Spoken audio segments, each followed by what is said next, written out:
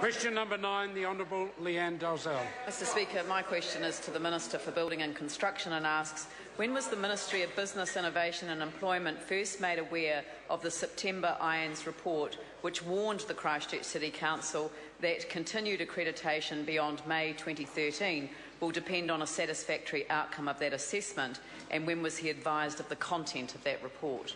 Mr Speaker. Honourable Dr Nick Smith. Mr Speaker, on behalf of Minister Williamson, the Ministry received the report in mid-October 2012. It was a regular accreditation assessment done biannu biannually on all 69 building consent authorities.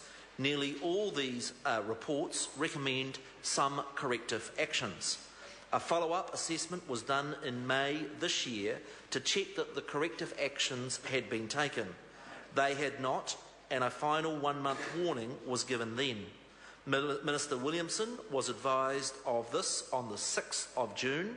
Minister Brownlee was advised on the 7th of June, and the matter was raised as an oral item at Cabinet on the 10th of June. Supplementary question. Lianne So, is the Minister saying that his officials did not provide him with any briefing on a report that contained 17 correction ac action requests and which warned that continued accreditation beyond May 2013 will depend on a satisfactory outcome of the assessment and that the 17 correction, corrective action requests had to be completed by February this year. Honourable Dr Nick Smith. Mr Speaker, I note that the accreditation system that is run by ANZ has been running since 2007. The Christchurch City Council received unsatisfactory reports in its biannual reports for that period. But the point, uh, the, the, point I want to make, Annette King, is this. Just listen for a moment. Order. You'll learn something. Is that when those reports are done, that all of the councils, all 69, have had, had corrective actions recommended.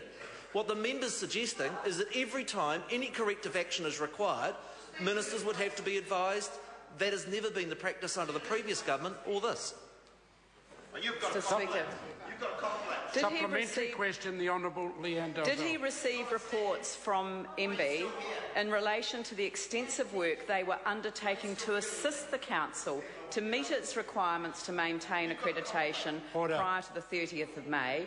And if so, did he pass these on to the Minister in charge of the recovery, or did he not actually read them? Speaker. Honourable Dr Nick Smith. Mr Speaker, the Christchurch City Council Building Consent Department has, I'm advised by the Ministry, had difficulties in terms of its accreditation since 2007. The Ministry of Building Innovation and Employment and its predecessor, DBH, has been meeting weekly with that uh, council for more than a year on these issues. Both Minister Brownlee and Williamson were aware of the support that the Ministry was providing to the City Council as those issues became more acute with the extra workload flowing from the earthquake. Su supplementary question, the Honourable Lianne Mr Speaker, has he read the report of um, May and September? Because it's quite clear in both of those reports that, in fact, uh, the Christchurch City Council didn't go through its regular assessment in 2010 because we had a, an earthquake, and in 2011 it was put off for a year because the government passed an order in council uh, to enable the accreditation to stay in place for another year. The first, uh, the first assessment by IANZ that they had was September 2012. Has the minister read the report? Speaker. Honourable Dr Mr. Speaker, I am not uh, Mr Minister Williamson to be able to answer to, to what degree all those reports have been read, but I would note again that of the 30 councils or building consent authorities that are reviewed each year, all of them have reports and all of them have recommended corrective actions. The part I find so ironic about the member is all last year she was criticising the government for dear interfering in the council and is now on her feet saying that my colleague Mr Brownlee didn't interfere nearly enough. Order. Supplementary question, the Honourable Lianne Dalziel.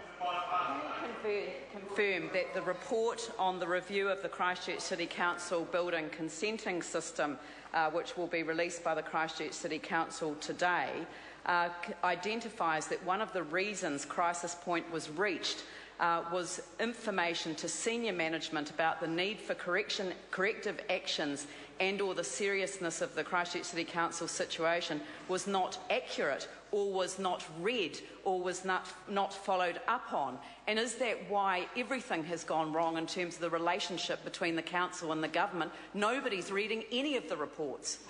Honourable Dr Nick Smith. Mr Speaker, the Ministry has been working with the Christchurch City Council trying to provide support to improve their building consent system. What they have noted in their reports to ministers is that there has been a lack of buy-in by the leadership within the Christchurch City Council to the sorts of changes that were needed in their building consent system.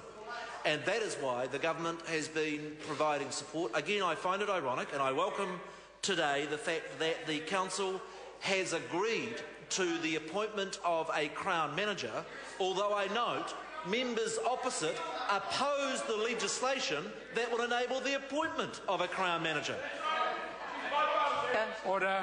Point of order, the Honourable Lianne Dalziel. Mr Speaker, I seek leave to, report, to table the report on the review of the Christchurch City Council building consenting system by the Ministry of Business, Innovation and Employment. Well, if it's the uh, leave sought to table that document, is there any objection? It, it can be tabled. It can be tabled. There was no objection. Question number 10, Jan Logie. Speaker, my question is to the